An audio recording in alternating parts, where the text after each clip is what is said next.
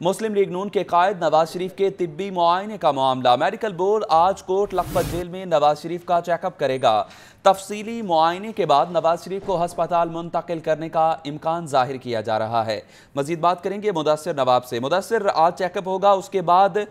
جو ہے، حتمی فیصلہ ہو سکے گا۔ جی ہاں بالکل جی یہ پاکستان مسلم لیگ نون کے قائد اور سابق وزیر اعظم یا محمد نواز شریف جو ہیں، یہ عرصہ دراز سے جو ہے کوڑ لکھپت جیل میں قید ہیں اور ان کا جو طبی معائنے کے حوالے سے خاص طور پر جو ہے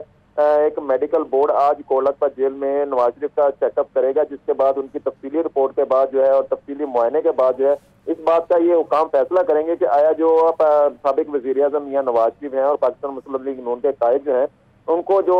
جو لاہور کے پنجاب انسٹیٹیوٹ آف کالج اور کالج میں ان کا ان کو منتقل کر دیا جائے یا ان کو ابھی جو ہے یہاں پر کولک پر جیل میں ہی ان کا طبی معائنہ اس قسم کا کر لیا جائے کہ اس طریقے سے ان کو یہاں پر ہی ان کا چیک اپ مکمل ہو جائے۔ جبکہ اس حوالے سے ابھی تک کوئی فیصلہ ممکن نہیں ہو سکا ہے اور نہ اس حوالے سے کوئی فیصلہ کیا گیا ہے کہ نواز شریف کو جو اس حوالے سے پی آئی سی میں منتقل کر دیا جائے کیونکہ ان کی حالت جو کل اس حوالے سے بتایا جا رہا تھا کچھ ناساز تھی اور ناساز ہونے کی وجہ سے جو ہے ان کا چیک اپ کے لیے میڈیکل بورڈ جو ہے آج